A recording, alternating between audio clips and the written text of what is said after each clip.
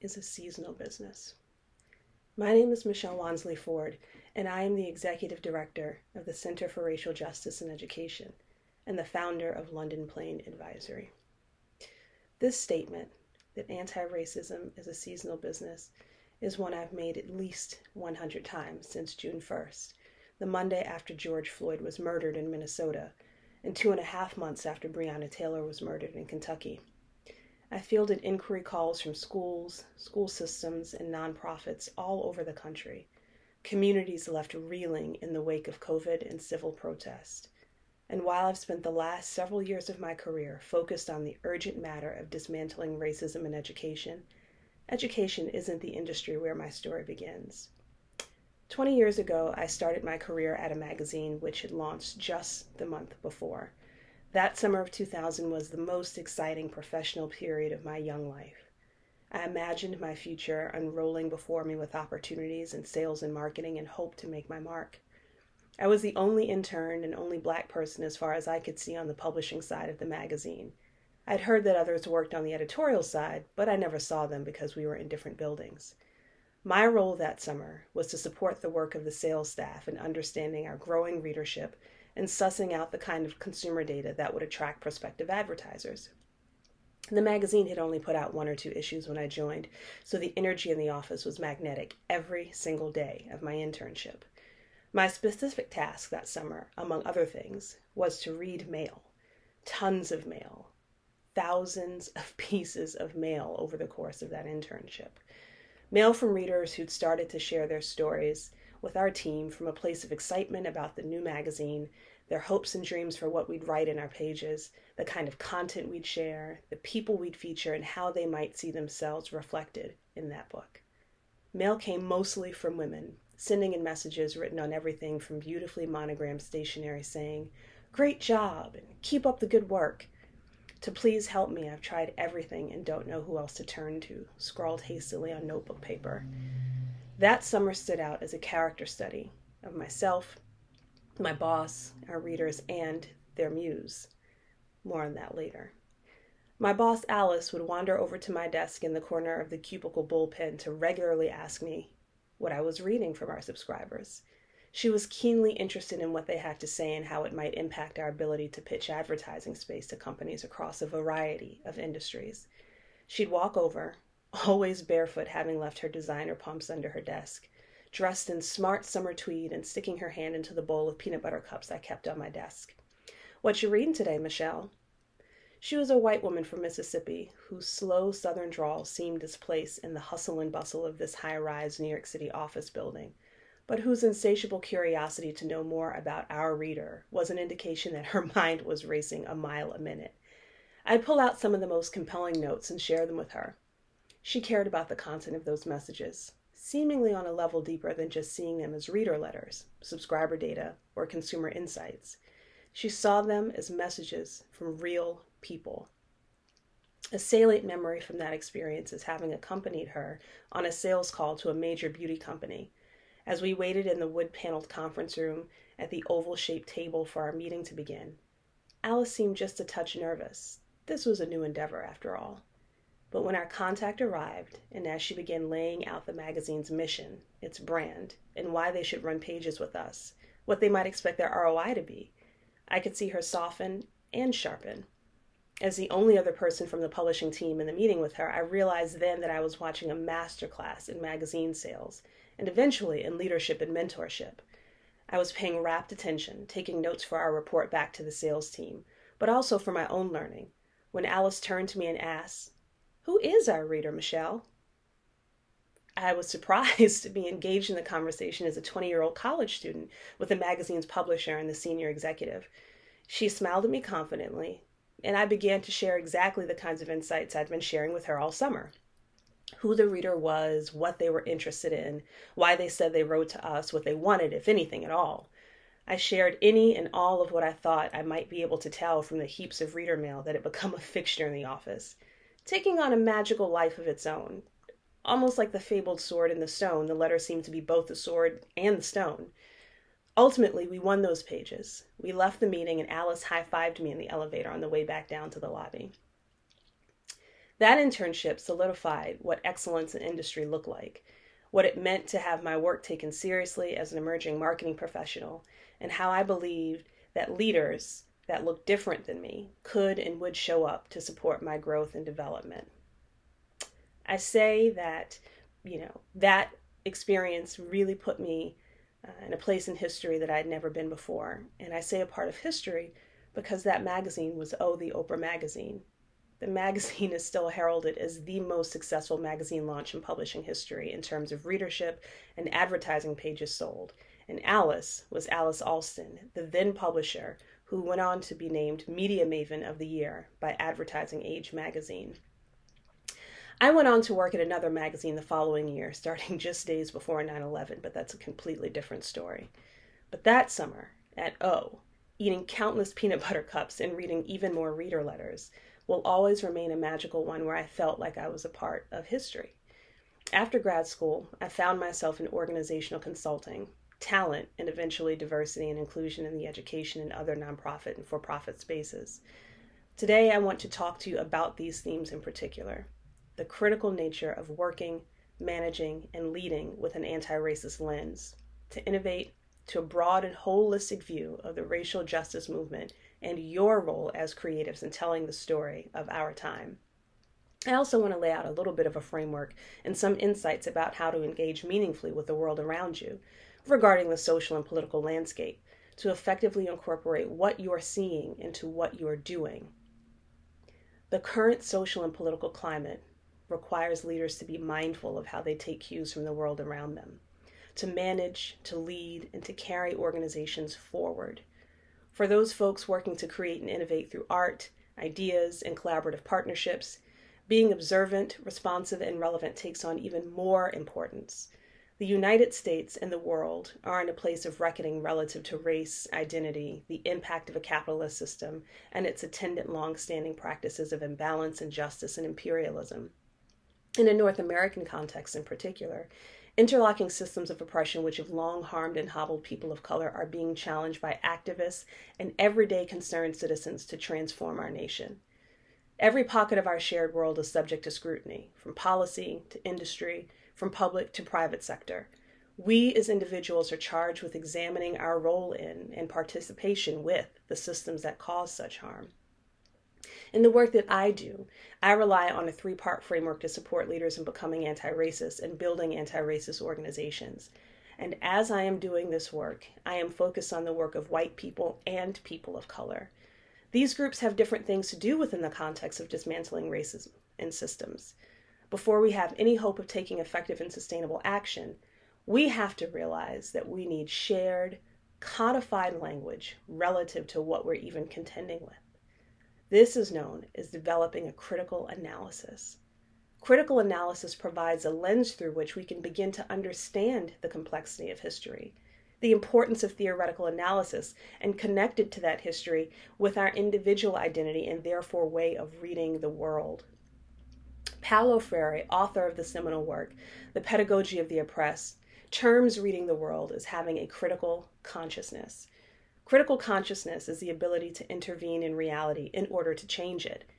Our role as folks who are trained to see and make sense of is then to do something with that information. The second piece of the framework is to understand that every organization exists first and foremost as a system, containing actors who arrive to the system with different mental models. Said differently, we are each bringing our own identities, lived experiences, values, and beliefs with us to whatever space we enter. There is no such thing as compartmentalization. Who we are anywhere is who we are everywhere. And as such, it behooves us to know who we are in doing so, to witness who we are so that we may witness others in that witnessing, our companies, our organizations, and institutions can go from being systems by default to communities by design, collections of people that are defined not by our respective roles and relative power, but by our shared values of mutual care and concern, the tenets which fundamentally make a community.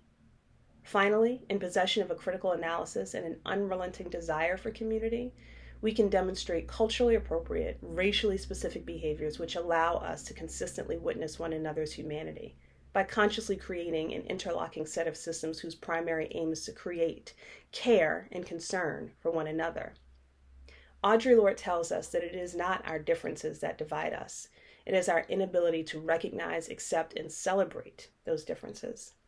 Anti racist leadership is the principle of recognizing, accepting, and celebrating difference.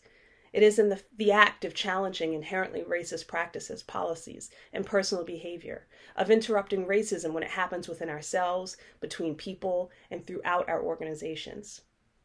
Two of the most useful tools which I've encountered of late include the Continuum on Becoming an Anti Racist and Multicultural Institution and the Lean Canvas Business Planning Tool. I've paired these documents, these tools together to offer individuals and institutions a simple and manageable way by which to assess their organization and where it exists in its efforts to become actively anti racist. Then, in considering those problems, thinking about examples of how the organization does exist with racist policies and practices and how it can move itself forward on the continuum towards becoming an anti racist, multicultural institution. Individuals and institutions can use a template, a tool, a way of thinking and being that allows them to apply these issues to a way of solving bigger systemic problems. This is what continues to evolve as the institutional anti racism planning tool, if you will. It's just a way of um, managing systems change effectively in any organization. These tools will be presented later today during the masterclass, where leaders who might be banging their heads against the wall can be in community together to brainstorm their way to a new present and future. Whichever tools an individual or institution uses to understand their commitment to anti racist ways of being, the important components remain critical analysis, conscious reflection, and committed behavior change. There is no different world without a commitment of individuals in it to do something unprecedented, different, and disruptive.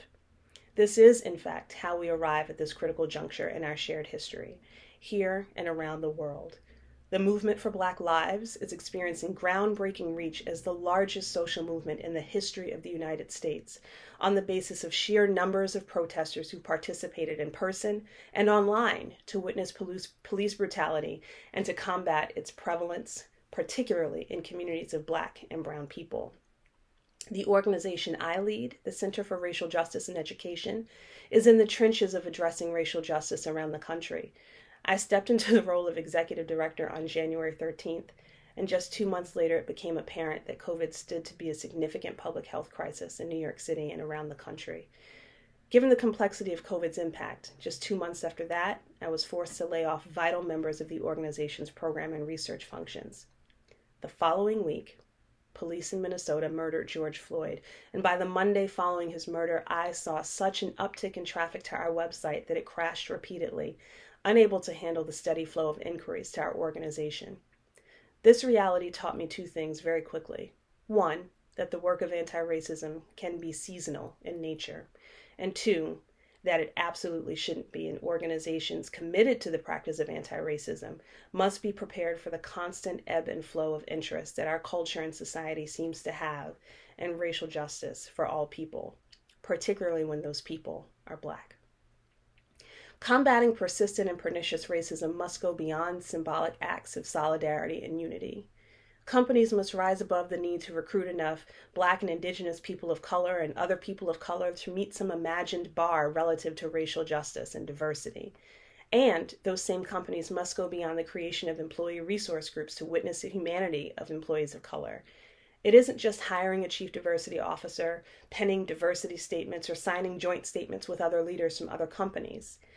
Companies and the leaders within them must examine their own regular day to day practices regarding recruitment, retention, and development, employee disciplinary action, and decision making power in order to develop a critical consciousness about the world they create as a system and a leader within it. Similarly, we as individuals have a responsibility on the basis of our respective racial identities to socially and politically locate ourselves first in the system of the world and society, and then most immediately and perhaps most importantly within the systems we inhabit our family relationships, our partnerships, our jobs. To do this, to witness the relationships closest to us, and to explore our power within them is necessary and urgently so. What are we willing to give up to guarantee a future worthy of generations to come? Who are we willing to be? Our charge is to develop an analysis, commit to creating community, and address our individual commitments to creating a more racially just company and culture in the world. Speaking bluntly, people of color must begin to center our own health and wellness within organizations that purport to value our presence and want to see us thrive. And white leaders and managers must recognize their own positional power as leaders and managers and understand how their white racial identity augments their experience within organizations and in society. Our work is critical and complementary and should be pursued with urgency and clarity of purpose. This conference is as much about resistance and responsibility as it is about representation. We've moved beyond the moment which focuses on where Black people are and aren't. Black people were never meant to stay there. We were never meant to survive. The conversation around where we are and aren't is a conversation about survival. In a time where the value of Black life is still a thing of debate, that whole industries are birthed from the need to point out and protect the value of those lives, the focus needs to move with all expedience to towards fierce advocacy and conscientiousness, anti racist leadership from would be allies. Like Alyce, a white woman from Mississippi who not only saw me, but valued me, who brought me to the table and then gave me the mic. That experience set me up for professional success in a way that I will never fully understand, but it set the bar much higher for much higher for how I choose my professional opportunities. So where does that leave us and where does it leave you? It means that by the end of today's sessions, on the heels of hours of programming painstakingly organized and curated for this audience, that each of us, in the full knowledge of our racial identity and experience, and as black people in particular, in particular, recognize our own work in this space to challenge systems strategically as well as revolutionarily. As other people of color, as partners to get into good trouble, as the late John Lewis would say, and as white people to be allies and accomplices, challenging those very structures which uphold white supremacy in our culture and from which you benefit. I remember being surprised to learn that Oprah's plan was to be the only person on her magazine's cover for the foreseeable future.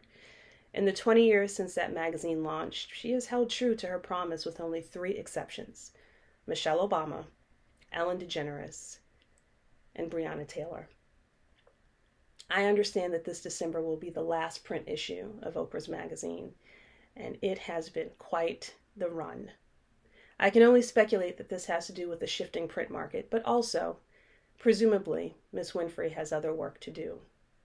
We all have work to do, and today is a good day to start. Thank you.